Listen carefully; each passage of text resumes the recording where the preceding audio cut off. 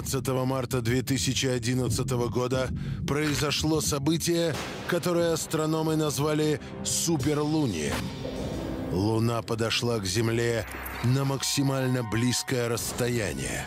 За несколько дней до этого мир потрясла чудовищная катастрофа на АЭС Фукусима. Исследователи сделали сенсационное заявление. Любая природная или техногенная катастрофа на Земле является результатом влияния Луны. Ведь предыдущие сближения Луны с нашей планетой тоже были связаны с разрушительными трагедиями. Во время празднования католического Рождества в 1974 году циклон Трейси опустошил австралийский город Дарвин. На небе в этот момент висела огромная луна – Самое крупное стихийное бедствие случилось в 2005 году во время очередного сближения Луны с Землей.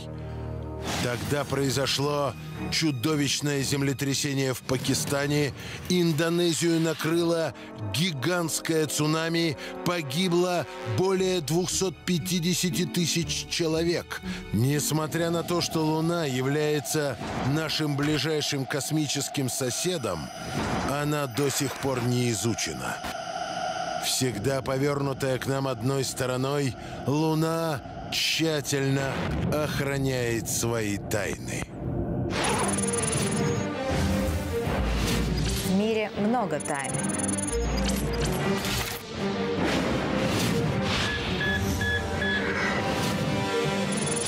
Одна из них будет раскрыта сегодня.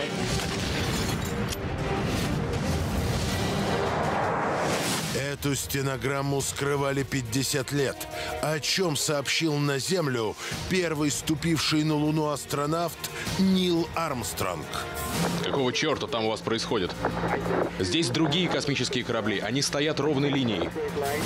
Впервые на телевидении эксклюзивное интервью египтолога, руководившего секретной высадкой американских астронавтов на Луне.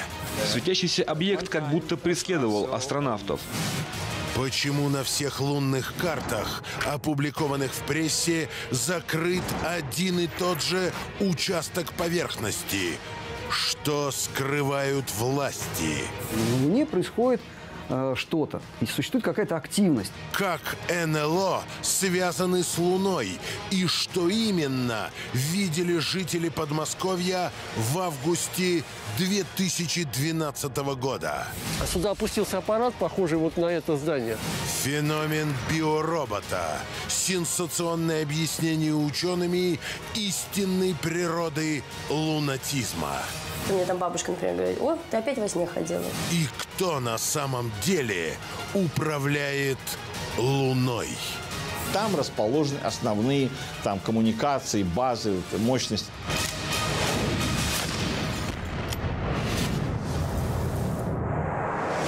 Тайны мира. Темная сторона Луны. Здравствуйте! С вами Анна Чапман. Мы расследуем самые странные и загадочные явления, происходящие в современном мире. В 1961 году состоялся полет Юрия Гагарина. Спустя несколько лет американцы заявили о высадке астронавтов на Луне. Началось тотальное освоение космоса. Еще немного, и люди смогут достичь других планет. Так почему же американская лунная программа была внезапно свернута? В 1962 году ведущий специалист НАСА Гордон Макдональд помещает отчет в издании «Астронавтика». Вот что там сказано. Согласно анализу движения Луны, представляется, что она является полой. Ее внутренняя часть является менее плотной, чем наружные слои. В самом деле, представляется, что Луна скорее полая, чем однородная сфера. Даже школьного курса астрономии достаточно для того, чтобы знать, никакое небесное тело не может быть полым. Только искусственно созданное. Луна, скорее всего, это искусственный спутник. Никаким образом он не мог произойти э, из нашей планеты Земля. Вот. Я лично в это не верю. Скорее всего, это искусственный спутник. Одним из центральных вопросов во время встречи руководителя Советского Союза Никиты Хрущева и президента США Джона Кеннеди был вопрос о дальнейшем исследовании космоса. В тот момент советская космическая программа намного опережала американскую. Дальше начинается череда необъяснимых совпадений. 22 ноября 1963 года в Далласе убивают Джона Кеннеди. 22 ноября 1963 года в Советском Союзе в результате заговора от власти отстраняют Хрущева. Позже при загадочных обстоятельствах погибает Юрий Гагарин. Поразительно. Но человек, сумевший облететь Землю, разбивается на обычном самолете.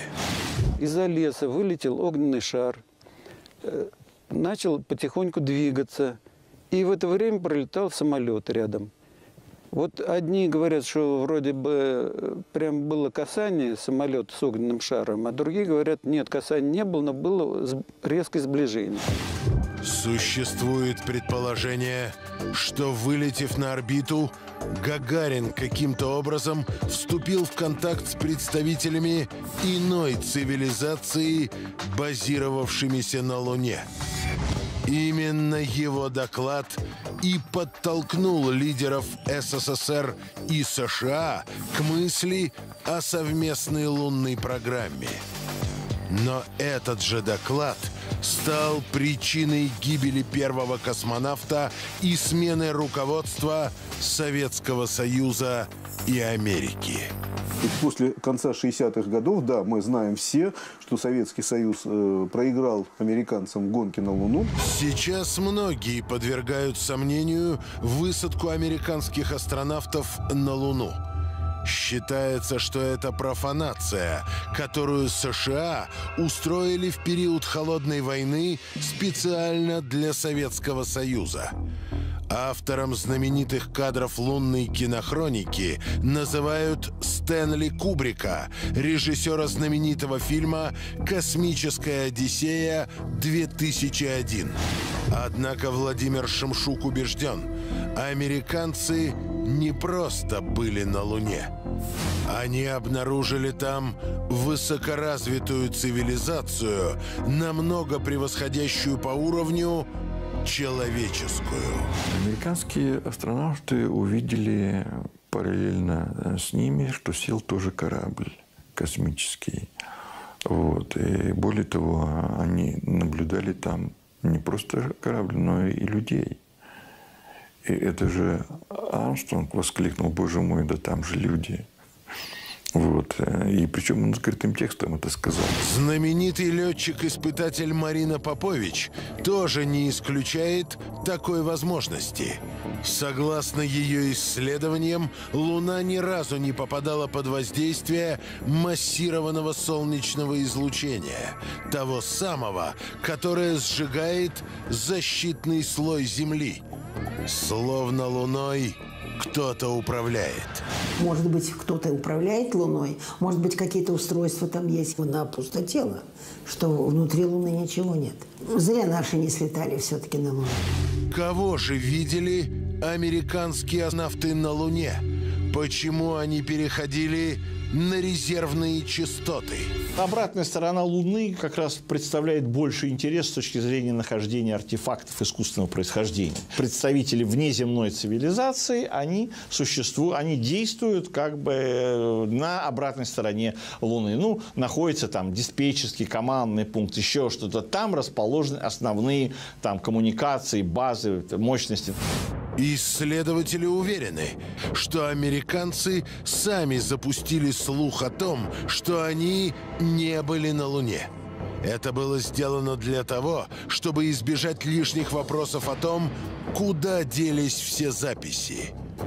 Километры пленки со сверхценным материалом, отснятым на Луне, неожиданно исчезли из архивов НАСА. Этого не может быть, потому что любой человек, который знает, как, э, как бы осуществляется режим хранения, понимает, что просто так они не могли исчезнуть. Потому что каждый там, как бы единица хранения имеет свой инвентарный номер, там э, выдача происходит по разрешению и тому подобное, не могут. Значит, они просто это скрыли. Герой России космонавт Федор Юрчихин считает, что никаких скрытых тайн на Луне нет. Прекращение полетов на Луну он объясняет чисто практически. Доказали, что человек может там быть, и пока это единственное небесное тело, не Земля, на которой бы выступала нога человека. А дальше что? Что дальше делать человеку там? Исследователи расходятся во мнениях, что же именно было обнаружено на Луне и было ли обнаружено на самом деле. Естественно, то есть там инопланетяне, они ее давно уже облюбовали имеют свои базы, особенно на той стороне. И множество аномалий и наблюдений Луны свидетельствует о том, что там жизнь кипит, но не наша жизнь. Собранным первыми астронавтами лунным артефактам посвящены тысячи книг. Однако координатор движения «Космопоиск» Вадим Чернобров относится к таким многочисленным доказательствам с изрядной долей скепсиса.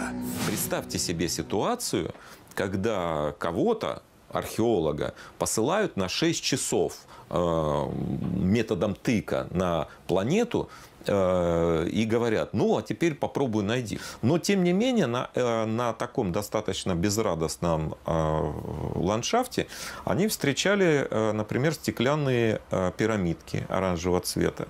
Э, а, назначи... а происхождение этих пирамидок э, есть до сих пор достаточно э, жесткие споры. Доктор экономических наук Владимир Васильев выдвинул сенсационную теорию. Он убежден, место для посадки Аполлона-11 выбирали долго и тщательно. Астронавты вели корабль туда, где и находились лунные артефакты. А выбрал точку ведущий специалист по египетской мифологии. В настоящее время Фарух Эльбас возглавляет в Бостонском университете Центр дистанционного космического зондирования.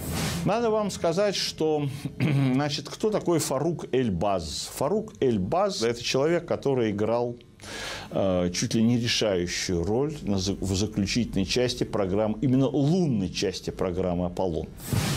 Поразительно, но корабль направлял человек, который даже не был американским гражданином. Зато был тесно связан с древнеегипетскими эзотерическими культами. Смотрите сразу после рекламы. Эксклюзивное интервью египтолога, помогавшего американцам посадить на Луне первый космический шаттл. Светящийся объект как будто преследовал астронавтов. Почему в древних летописях о Луне нет ни единого упоминания? Сюда пригнали новую Луну. И что напугало Нила Армстронга на поверхности Луны? Какого черта там у вас происходит? Здесь другие космические корабли. Они стоят ровной линией.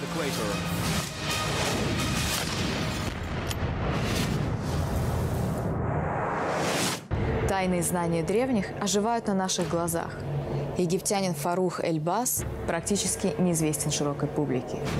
Еще менее понятна та роль, которую он сыграл в американской лунной программе. Сегодня мы раскроем эту тайну. Геолог Фарух Эльбас родился в Египте в 1938 году.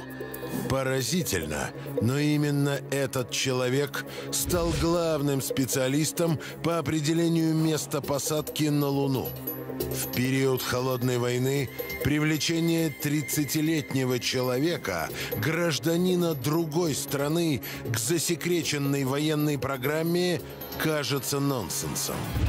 Сенсация! Специально для программы «Тайны мира» Фарух Эльбас впервые расскажет о своей секретной миссии. За два года до запуска «Аполлон-11» мне поступило предложение работать с НАСА. Это был 1967 год. У нас было два года, чтобы подготовить «Аполлон» к запуску. И моей работой было определение мест посадки на Луне. Нужно было, чтобы поверхность была ровной и удобной для прилунения корабля. Американская лунная программа состояла из двух компонентов. Первый общеизвестен. Первыми высадиться на Луну и обогнать Советский Союз. А второй части, основной, знали только посвященные. Мы знали, что контролируя космическое пространство, мы сможем контролировать весь мир. Истинной целью лунной программы было установление контакта с представителями внеземной цивилизации.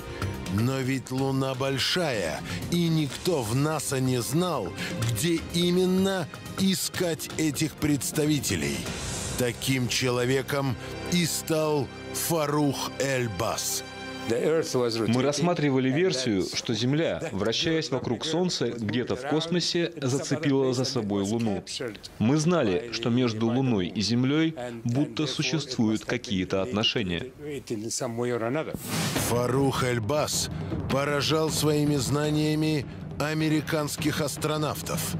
Находясь на Земле, египтянин настолько подробно описал им местность, где будет совершаться прилунение, что по признанию командира Аполлона-11 они могли туда садиться с закрытыми глазами.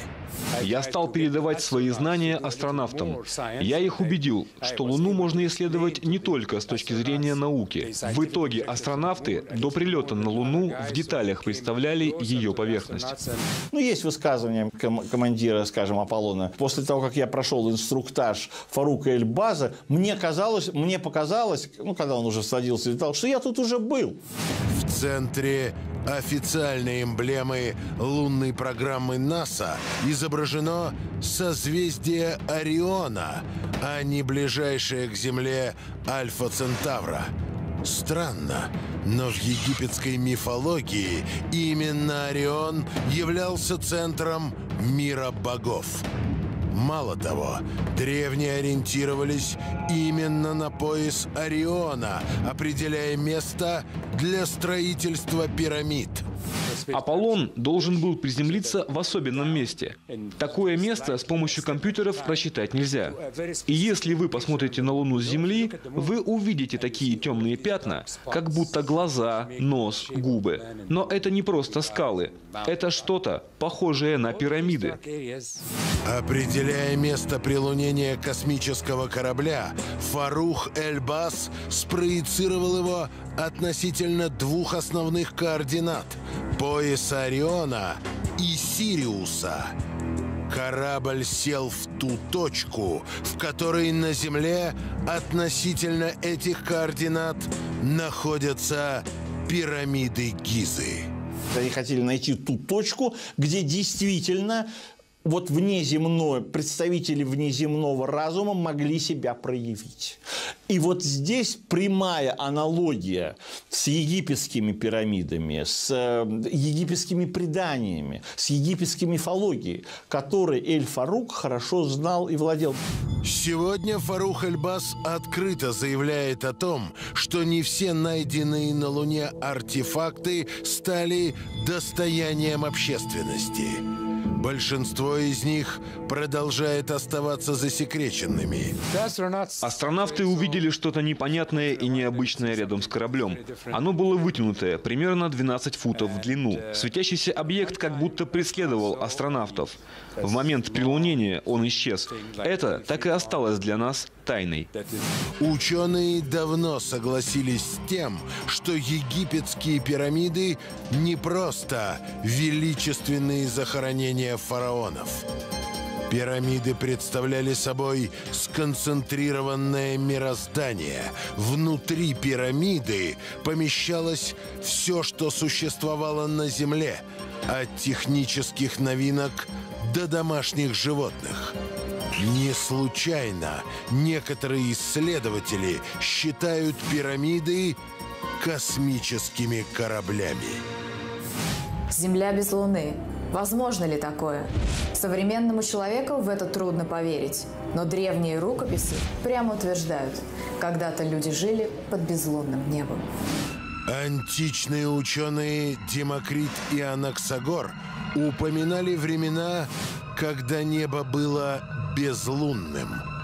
Подобные описания пустого небесного свода встречаются у индейцев Чипча в Колумбии, в Тибете, у шаманов Сибири. Раньше матушка наша Земля не находилась на нашей Солнечной системе. Значит, ее нужно было, когда ее пригнали к солнышку, как-то обустроить. И вот сюда пригнали новую Луну. Луну э, требовалось разумно разместить, чтобы она полностью закрывала диск Солнца. Почему Луна постоянно повернута к нам одной стороной? Что находится на другой стороне? На Луне происходит э, что-то, и существует какая-то активность. Там что-то взлетает, садится, там есть структуры, которые наводят на мысль о том, что они искусственно созданные. Вот. И э, обратной стороны Луны там, в общем-то, видно два огромных кратера, которые наводят на мысль о том, что это э, гигантские эти дюзы э, ракетных двигателей, да, с помощью которой Луна была подтянута. В конце 70-х советский астрофизик Иосиф Шкловский предположил, что Луна вполне может оказаться безжизненным кораблем чужой цивилизации. Безжизненным ли? Не так давно в прессу попала стенограмма переговоров Нила Армстронга с Землей. Источники сообщают, что она полвека хранилась в архивах ЦРУ. Диалог астронавтов и Центра управления полетами стал настоящей сенсацией. Once again, think. No, no, no. It's not an optical illusion. There is no doubt. What? What? What? What the hell is going there? What happened? They are here, on the surface. What is there? Houston is calling Apollo 11. Please advise. We saw some guests. They were here for a while, checking the equipment. Repeat your last message. I say here are other spacecraft. They stand a straight line on the other side of the crater. Практически сразу после своего триумфального полета Нил Армстронг сознательно ушел в тень. Он переселился в провинциальный штат и больше никогда не имел дел с космосом. После своего полета он практически ушел из отряда и э, стал преподавать в университете небольшого городка, где он жил но старался уходить от встреч. Вот это были первые такие триумфальные его встречи после самого полета и приезд в Советский Союз. Может быть, на протяжении многих тысячелетий в непосредственной близости от Земли действительно находится гигантский космический корабль. Еще Шерлок Холмс утверждал, что нужную вещь лучше всего спрятать у всех на виду. Известно, что Артур Конан Дойл всерьез увлекался эзотерикой и в первую очередь древнеегипетскими тайными знаниями. Не дал ли он своим читателям подсказку, что искать нужно прямо у себя под носом?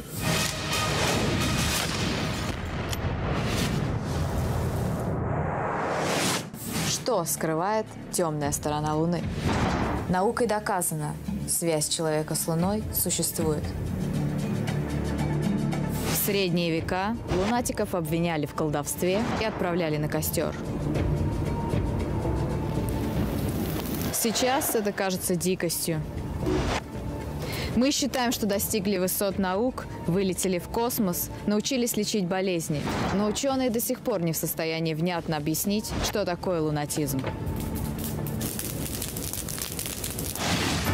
О том, что она лунатик, Александра Савина узнала в детстве от бабушки. Долгое время ни она сама, ни ее родители не придавали серьезного значения Сашиной привычке ходить во сне. То есть мне, я помню, что мне там бабушка, например, говорит, о, ты опять во сне ходила. Я говорю, ну, что, что поделаешь. Родственники не пугаются. Родственники знают, что это у меня всегда было. Вот у меня бабушка даже называет это блукать. Каждое ночное путешествие происходило по-разному. Иногда Саша куда-то шла. Могла внезапно начать ходить по кругу или начать перебирать вещи. Или просто садилась и начинала разговаривать. Сама Саша не помнит, что она произносила во сне. А вот старшую сестру Дашу такие разговоры часто пугали.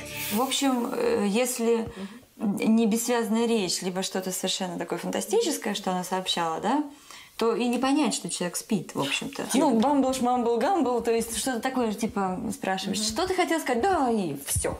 Ну, хорошо, все. Ну, то есть явно человек находится в каком-то внутреннем диалоге с кем-то. Родные понимали, что с Сашей явно что-то не в порядке. С возрастом прогулки во сне становились все более опасными. И однажды в полнолуние Саша вышла на открытый балкон. Родители едва успели спасти дочь от неминуемой гибели. Девушка бормотала бессвязные слова и тянула руки к луне.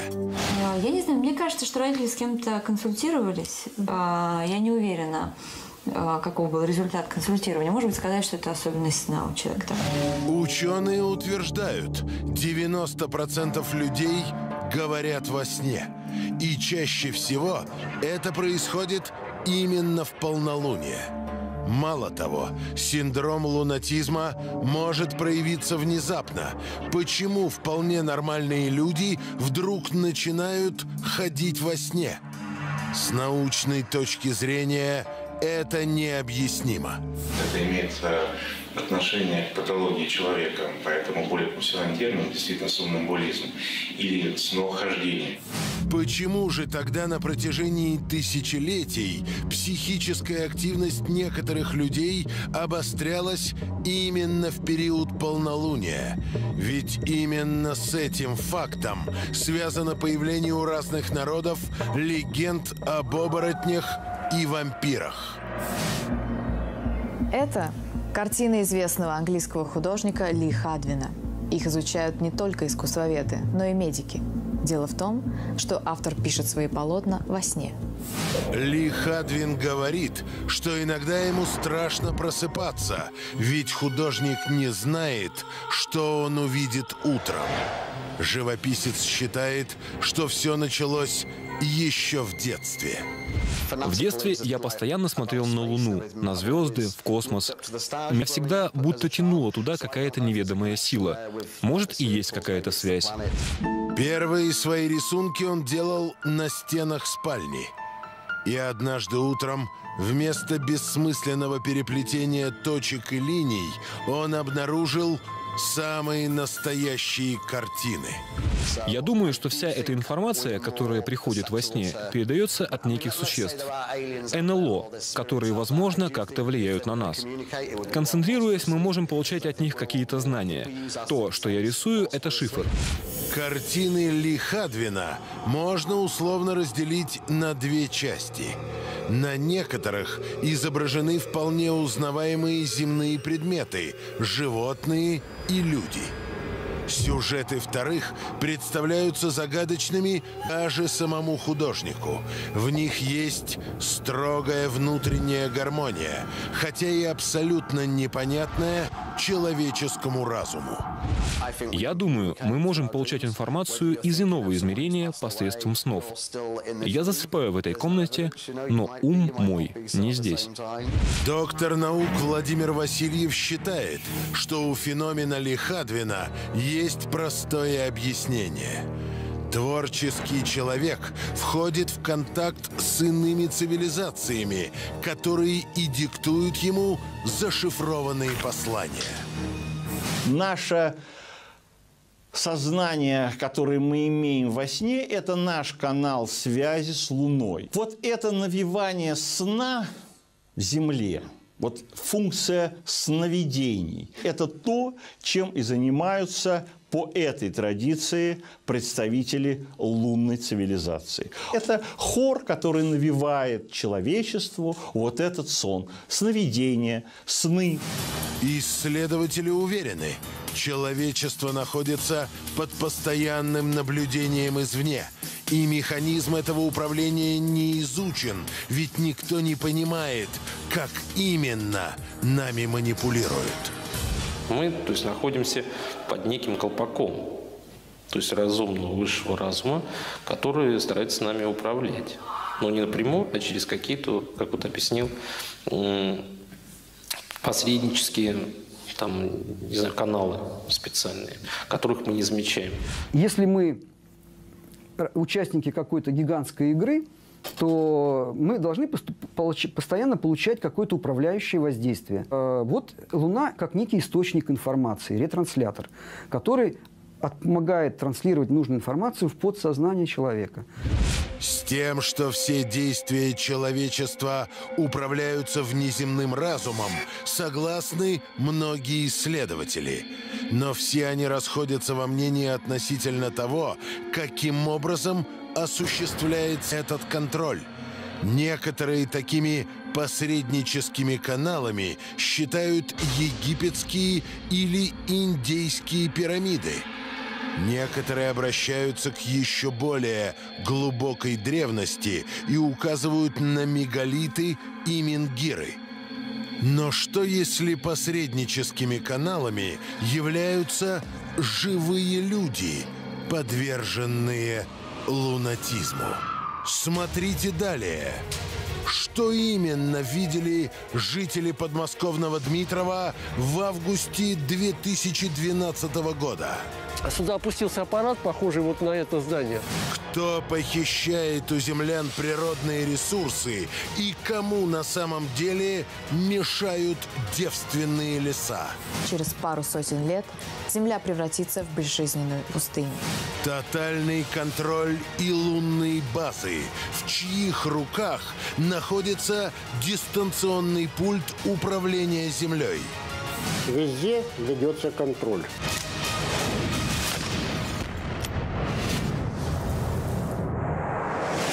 С каждым годом полезные ископаемые Земли истощаются. Согласно прогнозам экологов, через пару сотен лет Земля превратится в безжизненную пустыню. Только ли человек виновен в этом? Владимир Кушелев ведет нашу съемочную группу к знаменитому Дмитровскому валу. Историки полагают, что это остатки крепостного вала, возведенного в XII веке по приказу князя Юрия Долгорукова. Однако, согласно исследованиям Владимира Кушелева, Дмитровский вал был насыпан гораздо раньше, ориентировочно 30 тысяч лет назад. Я стал смотреть, какие там внутри родники, и выяснил, что концентрация галлия в этой родниковой воде в тысячу раз больше среднего. Вот. А что это значит? Это значит, что в этой зоне добыто около 50 тысяч тонн галлия за два приема. Такое превышение концентрации галлия означает, что на этом самом месте находится месторождение этого металла диаметром не менее 50 километров. Даже при современном развитии техники люди не способны были бы провести добычу в таком объеме. Есть предположение, что сюда опустился аппарат типа летающего экскаватора, который э, собрал грунт, ну, скажем так, на глубине там полметра или метр, вот, и насыпал его вот в виде вала. Причем вот мы стоим на такой вмятине, э, если вот посмотреть с воздушного шара, то видно, как будто сюда села, например, летающая тарелка и примяла э, в радиусе там 10 метров вал. Галлий – очень дорогой металл. Средняя цена – более миллиона долларов за тонну. На его основе создают суперкомпьютеры, промышленные и военные лазеры, материалы для ускорителей заряженных частиц. Второе применение – это э, заливка бронежилетов. То есть у инопланетян у них э, лучевое оружие композитное. И поэтому, если вас начали прижигать этим оружием, а у вас э, в жилете залит галлий, то пока весь галлий не расплавится, температура выше 30 градусов не поднимется. Ну и, соответственно, несколько секунд вы будете защищены. За это время можно впрыгнуть в тарелку и улететь. Но драгоценный галлий далеко не единственный объект интереса гостей из космоса. Специалисты выявили странный феномен. Человечество добывает гораздо больше полезных ископаемых, чем способно потребить. У нас э, на Земле только 5% добытого сырья идет на нужды человечества. Остальные 95 непонятно куда девается. Так вот, э, в действительности мы работаем на цивилизацию, которая нас эксплуатирует. Мало того, даже объемы браконьерства сильно преувеличены. Специалисты говорят, люди просто не способны за короткое время уничтожить большую часть живой природы. По всей видимости, гости из другого мира сознательно убивают биосферу нашей планеты. Самшитовые, допустим, леса, то есть редких очень пород. Прилетают вертолеты непонятно откуда, вырубают лес. Активная выемка полезных ископаемых ведется в самых разных концах планеты. В Крымских горах местные жители часто слышат по ночам странный гул, похожий на работу подземных механизмов. Легенды о гигантском подземном тоннеле, проходящем под Медведь-горой, известны здесь каждому. Геннадий Прокудин считает, что в этом районе на дне моря находится ремонтная база инопланетных кораблей. Это не живые существа, это биороботы здесь работают и обслуживают вот эти все. То есть механизмы. Здесь работают биороботы, те, которые руководят ими, они находятся там, они сюда редко при, прилетают, практически им это и не нужно. По всей видимости, таких баз на Земле немало. И все они работают в автоматическом режиме. Однако не только природные ресурсы привлекают инопланетных гостей. Кроме ископаемых, они использовали нас для генетических всевозможных экспериментов, а также как источники энзимов. Они же нас и называли питательным грузом. Ну, в принципе, и так и продолжают называть. Контроль ведется везде. Многие исследователи утверждают, человечество контролируется извне. Однако официальная наука предпочитает к ним не прислушиваться. С помощью этих НЛО те, кто наблюдает за развитием нашей цивилизации, наблюдают, что мы делаем, какие новые виды оружия изобретаем, испытываем, как мы наказываем сами себя, взрываем атомные бомбы в Японии. Везде ведется контроль. Далее в программе. Почему Мерлин Монро и Адольф Гитлер покончили с собой под воздействием Луны? В картах на момент смерти Луна имела колоссальное значение. Что показывают звезды перед глобальными катастрофами? За два дня до полнолуния наблюдался резкий всплеск очень серьезных преступлений. Марионетки в большой игре. Кто определил роль человека во Вселенной? То, что мы думаем о том, что мы разумные существа, это очень такое э, большое заблуждение.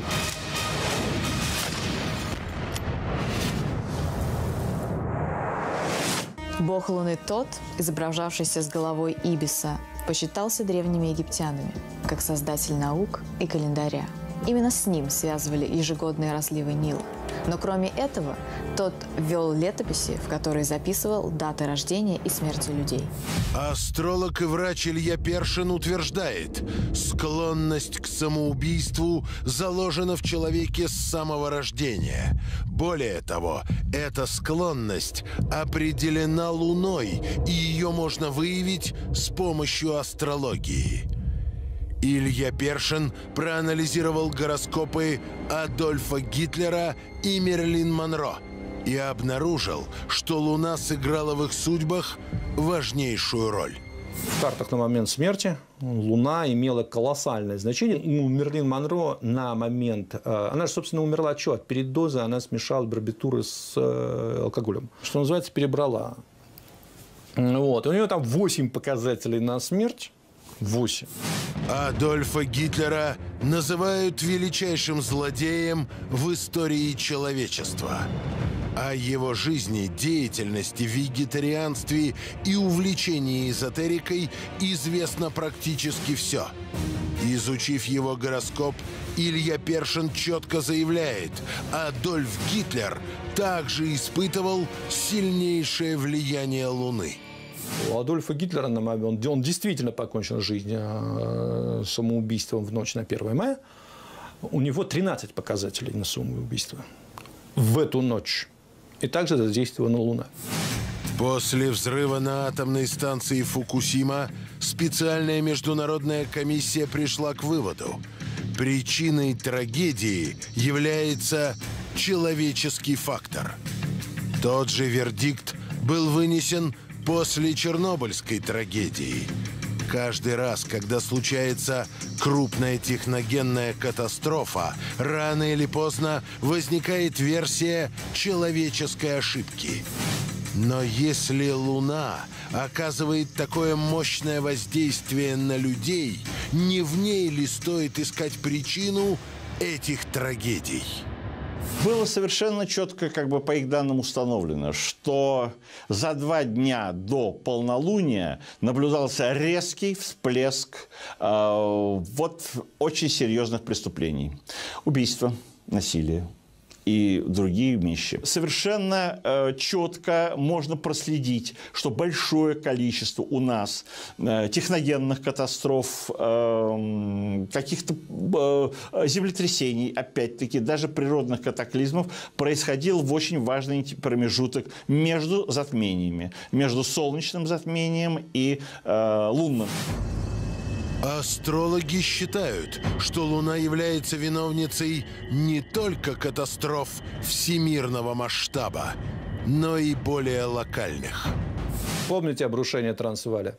Собственно, непосредственно момент обрушения. Луна стояла на звездной оси Антарес-Альдебаран. Она была соединена с Антаресом. В этот момент она транслировала, инициировала все возможные готовые и полуготовые катастрофические ситуации в жизни людей. Самым зловещим культом Древней Греции был культ богини ночи Гекаты. По легенде, Геката бродила по земле безлунными ночами в сопровождении стаи красноглазых псов и мертвых духов. Греки верили, что только собаки могли увидеть Гекату, и их вой предварял ее приход. Уже во времена Древней Греции люди настолько свыклись с постоянным присутствием Луны на небе, что даже недолгое ее исчезновение в период новолуния вызывал у них мистический страх. Не случайно огромное количество самых страшных преступлений, описанных в художественной литературе, совершались именно безлунной ночью. Тем большее воздействие на людей древности оказывало лунное затмение, когда прямо на их глазах луна становилась черной и исчезала. Что еще бывает во время полнолуния? Во время полнолуния бывает лунное затмение. Уникальная вещь вообще в астрологии. Э, происходит, скажем так, переброс проводов на небе. И некоторые программы прекращают э, свою работу. Человек в это время э, не чувствует мира. Луна зашла в день Земли, и люди э, не чувствуют то, что им как бы транслирует мир. Ученые установили, что каждый год Луна удаляется от Земли примерно на 4 сантиметра. При этом ее орбита представляет собой медленно раскручивающуюся спираль. Исследователи рассчитали, если расстояние между нашей планетой и ее спутником будет увеличиваться и дальше, то земная ось изменит угол наклона. Растают полярные льды, и второй потоп смоет все живое. Те, кто управляет Луной, как будто знают об этом, и спустя какое-то время спутник снова приближается. Но тогда на Земле происходят разрушительные катастрофы, совершаются чудовищные преступления, а люди сходят с ума. То, что мы думаем о том, что мы разумные существа, это очень такое а, большое заблуждение. Мы какие-то марионетки в какой-то большой игре. В данный момент мы, может, и видим, что с нашей планеты происходит изменение климата и влияет, и влияет на планетный разум. Идет терраформация планеты, изменение под другую расу, которая уже вмешивается и пытается колонизировать нашу планету. Однако гравитация Луны, как говорят астрономы, предотвратила множество глобальных катастроф. Своим притяжением наш спутник сбивает с курса многотонные астероиды. Правда, не все. Каким-то образом Луна выбирает именно те космические глыбы, которые направляются к Земле. Кто же управляет этой защитной системой? За 50 лет исследования Луны наука так и не смогла найти убедительный ответ. Так как же нам относиться к Луне? С одной стороны, Луна – это гравитационный щит Земли, с другой стороны, она может быть угрозой. Одно известно точно – среди нас живут люди, которые понимают язык Луны. Может быть, эти люди – последняя надежда человечества. С вами была Анна Чапман. В мире еще много тайн, которые нам предстоит раскрыть.